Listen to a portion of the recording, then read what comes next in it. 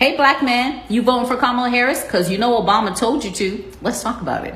So, yesterday, Barack Obama decided it was a good idea to come out of his house, save Kamala Harris's sinking ship in Pittsburgh, and talk shit about Trump for a few minutes, and then gather a bunch of black men behind signage that says black male voters and basically tell them, you better vote for Kamala Harris.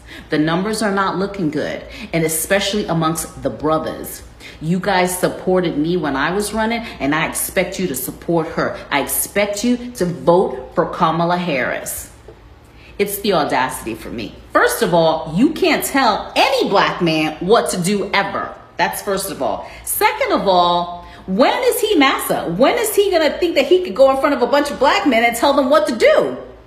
Like, is that what we're doing right now? Like, in charge of what black men do or don't do? So the small percentage of black men who were either going to vote for Kamala Harris or were leaning and undecided but leaning towards her, they're absolutely not going to vote for Kamala Harris. Now, that doesn't mean they're going to vote for Trump, but they're for sure not voting for her. So, whatever their little plan was to like play in the emotions of black people or make black men feel like they can't make their own damn decisions, that backfired. It's all over the internet. Barack Obama, that was a bad move. It was a bad move. You did nothing for black men back in the day.